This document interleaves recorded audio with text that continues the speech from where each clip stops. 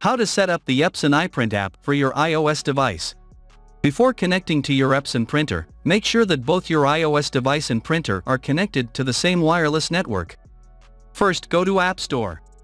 Search Epson iPrint. Install Epson iPrint app.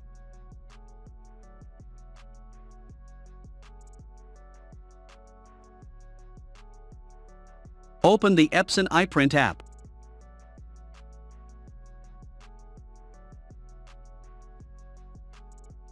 Tap Printer is not selected.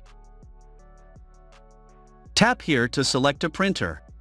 If you don't see your printer, tap Search at the bottom of the screen to search again.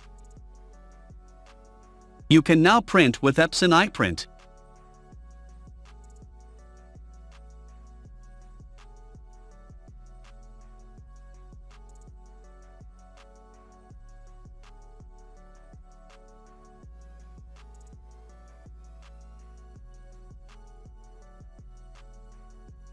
Hope this small video helps you. For more videos please like share and subscribe our channel.